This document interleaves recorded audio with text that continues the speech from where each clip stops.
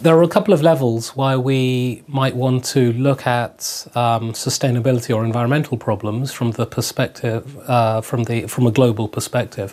One is because many of these problems are common problems. So the, um, the issue of sustainability is one that uh, transcends all societies, and um, if you can uh, address it at an international level, even if it's at a relatively broad or abstract level, uh, in uh, at that le- uh, in that way, you can then uh, share common experiences or tackle common problems in a way that avoids duplication, replication, maximizes uh, learning, and so on. So, dealing with problems at a collective level uh, has that obvious advantage. And you could, but you could probably apply that to any problematic, whether it's a social problem, an economic problem, an environmental problem, whatever. Something that's particularly unusual about sustainability and environmental concerns is, of course, that there will often be transboundary effects which cannot be resolved within one jurisdiction. So, for example, if um, there is a steelworks um, on the boundary of two states, but located within one of those states, it might well have um, it may well create pollution, which goes up into the atmosphere, gets blown across the border, and then deposits pollution in the uh, second jurisdiction. Now, that if you want to solve that problem, and maybe you don't want to solve that problem, but let's assume you do want to solve that problem, then you're going to need both parties to have a conversation. Okay, you've got a transboundary problem that cannot be solved unilaterally. And many environmental or sustainability concerns have that character. When you get to climate change, you get that squared because it's not because climate change is not a transboundary problem it's a global problem so pollution that's created in chile will uh, create uh, a problem a, a, a, climactic will have a climactic effect around the world, whether in China or Chad. It doesn't matter where the pollution is created for the purposes of climate change. The effect is global. So if you're going, if you want to solve that problem, it's not that just that you need China and Chad and Chile to get on board, but you need everybody. You need a universal. You need universal buy-in to solve the problem, which is what the UNFCCC, the United Nations Framework Convention on Climate Change, seeks to do.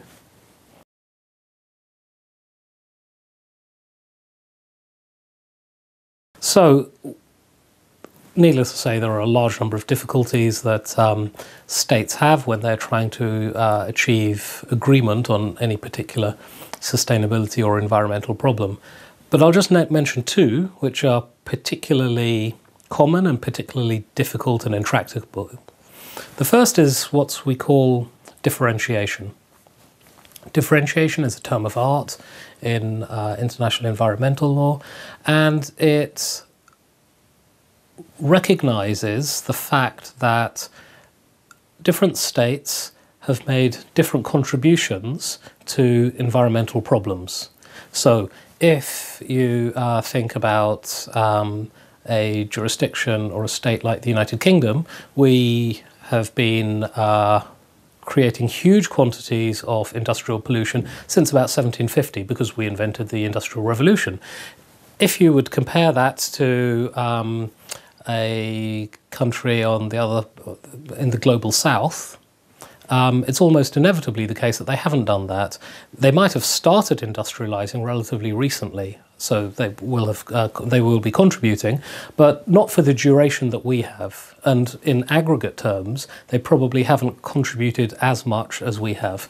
So this means that the um, common problems, which uh, of which climate change would be one, um, has been uh, caused differentially by different states, which fairness dictates means that when we are imposing obligations on states to solve the problem, those obligations should be sensitive to the fact that different people have made different different states have made different contributions, and that's called differentiation. It's a very difficult thing to agree on, though. So, for example, the, one of the reasons, the primary reason why the United States uh, declined to ratify the Kyoto Protocol was because they said, quite accurately, that this was a, an agreement which um, placed obligations on developed economies, such as Western Europe, Japan, the United States, but no obligations on other major emitters, such as China. Uh, or India or Brazil, which, um, although were major emitters, were not necessarily historic emitters, but they were nonetheless major emitters. And of course, in the interim between 1997, when Kyoto was um, agreed, and today, China has, of course, become the world's uh, largest emitter, and almost by a factor of um, uh, 50%. So that that's an example of differentiation. Of course, in the form of the Kyoto Protocol, on the one hand, being perfectly understandable in that you, know, you treat historic emitters differently from newer emitters, but that differentiation having its own consequences, such as non participation of all states. And if one of those states is the United States, that really does create a problem because your agreement may not be viable. So that's one difficulty uh, of uh, negotiation at the international level. Another would be far more fundamental, and that's about the nature of states. and one of the characteristics of states is, of course, that to a greater or lesser degree, states are sovereign. That is, they um, are, uh, have the sole authority, or purport to have the sole authority, to make laws and enforce laws and uh, deploy force within their territory. Now, that means the corollary of that is that states, as between each other, are equals. They may not be in actual terms, but certainly in legal terms, they're equal. States are all equal. Now, one consequence of this is that states cannot be compelled to undertake obligations that they don't want to. So they can't be compelled to join treaties or ratify treaties that they do not think are in their best interests. So if you're uh, trying to negotiate an agreement on any particular sustainability matter, you need to carry all states with you. You need to get comprehensive buy in because if any state doesn't want to participate, they cannot be compelled to. As a matter of fact, obviously, states can be coerced or persuaded or flat, flat out bribed in various ways. But that's a difficulty, the, the sovereignty of states is a difficulty you have to deal with. In the uh, UNFCCC, the way of agreement is what's known as consensus. So you have to acquire a consensus as between all states that they agree. And that's the basis on which um, agreements are made. Other um, regimes do it by, by virtue of a vote, but uh, either 50, um, 50% plus one vote or a two thirds majority or three quarters majority. But there are a variety of different difficulties, and they revolve around the um, challenge of sovereignty.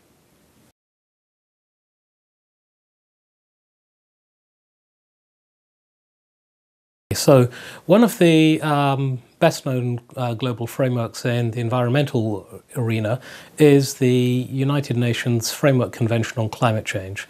This is a, uh, one of the most uh, widely ratified universally ratified, in fact, um, agreements in international law. I think at uh, right now there are 194 parties, which is basically every uh, state on the planet, including microstates um, and the biggest, and all of them in between.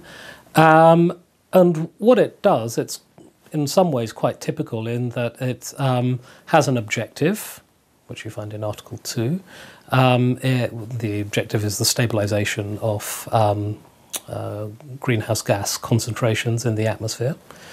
Uh, it has a set of principles, one of which would be differentiation, which uh, we've mentioned already, others such as in, intergenerational equity, um, uh, the um, principle of um, Uh, fairness also uh, makes an appearance, um, and uh, the precautionary approach are also mentioned.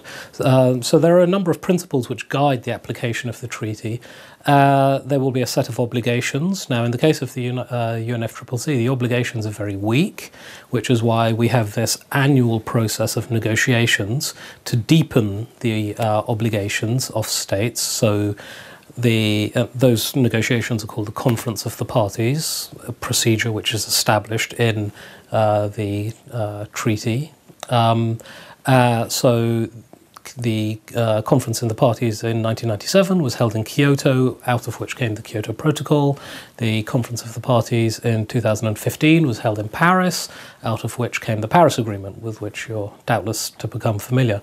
So these are um, some. So that would be a fairly typical uh, global regime.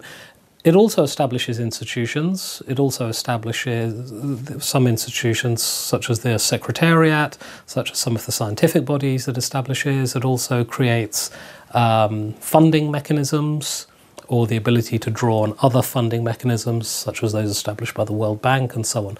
So they can be really quite comprehensive regimes.